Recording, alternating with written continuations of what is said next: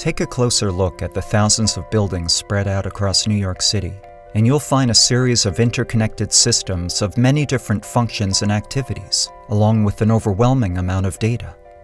Today, many of the systems that constitute a building, like heat, water, and electricity, are managed independently and often inefficiently, while the data they generate is often difficult to access or make sense of, resulting in a lot of energy waste. In New York City, where buildings account for 75% of the city's greenhouse gas emissions each year, it's unreasonable to build brand new energy efficient buildings from the ground up. But what if you could use technology to sift through critical business data to make school structures more energy efficient and more cost effective? Members of the New York City Department of Education and the City University of New York, also known as CUNY, asked IBM this question as they began to think about new ways to improve energy efficiency in the city's public school buildings. IBM's answer was to invite them into its labs, where researchers were working on advanced analytics and statistical modeling technologies that could provide insights into the everyday operations of buildings, including energy usage. And so, another first of a kind project was born.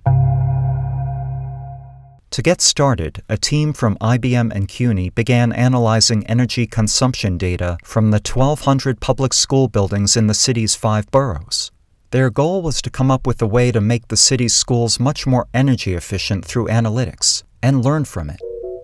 The system that was created lets facilities staff track and analyze energy use, compare school buildings' energy efficiency, forecast power needs, and run simulations on building improvements to predict the benefits of various retrofitting projects. For example, a facilities department manager or custodian could run the tool, click on the simulation capability, and find out how much energy could be saved by replacing old single pane windows with double pane windows. Also, heating energy used in one building could be compared with that of a nearby building of similar size and age. Perhaps that building serves the same number of students, but consumes 20% less energy. To improve the less efficient facility, facilities staff could explore retrofitting projects through computer simulations. Adding advanced analytics and visualizations to the school building's energy consumption data and getting data into the hands of property managers and facility staff could go a long way toward contributing to the city's goal of reducing its municipal carbon footprint by 30% by 2017 and IBM hopes to roll out the system to other schools across the country.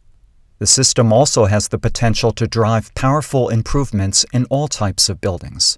IBM is already working with thousands of organizations globally to optimize the energy usage and equipment efficiency in office buildings, campuses, resorts, and hospitals. The CUNY project stands to benefit not only New York City school buildings, but also the 1.1 million students within. IBM and CUNY are training teachers on the system's interactive features, which can help examine real energy use and translate it into tangible classroom lessons on environmental impact. As the City University of New York is discovering, bringing greater intelligence and connectedness into a building's operations can go a long way toward creating a truly integrated and smarter building system, while reducing energy consumption and developing energy conscious students along the way. And as all the FOAK projects are proving, it is the dynamic nature of this close interaction with IBM clients and the changing forces of the real world that drives innovation and brings it to market at an ever quickening pace.